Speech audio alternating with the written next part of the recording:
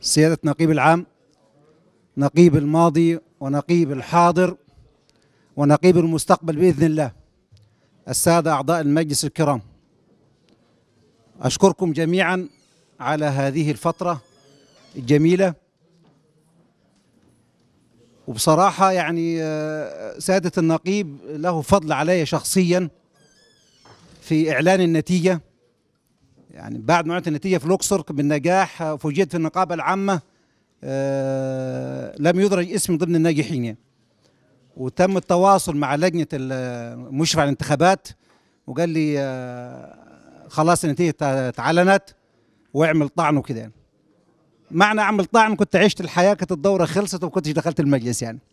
وبصراحة رحت للنقيب العام آه، وشرحت له موقف وكانت عنده فكرة بصراحة وقال لي ممدوح أوعدك لو اللجنة ما جاتش وغيرت النتيجة أنا هغيرها لك شخصيا.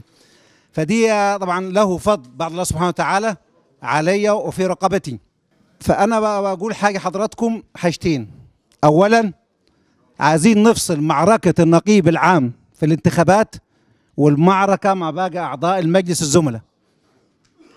الكل يكون الج... يعني الاحترام والتقدير للنقيب العام. وارد طبعا ال 28 الله أعلم مين هيجي أو مين مش هيجي دي مش يعني إيه كله في علم الغيب.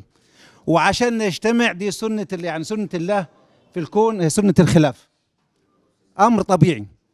لكن يعنينا أمر واحد إن إحنا معركة النقيب كلنا 56 مع سيادة النقيب العام النقطة الثانية نتعامل فيما بيننا. على سنة الخلاف الكون سنة الاخ- الاختلاف نحفظ الجميل للبعض الكل من يعني جميع الأعضاء. كل من حقه الترشح من حقه يقول برنامجه من حقه يقول حاجة أستاذ كمال. تمام؟ ولكن في الآخر من الآخر مش عايزين نعض ببعض. مش عايزين سوري في اللفظ إن ممكن واحد يقول على زميله في المجلس كذا أو كان كذا.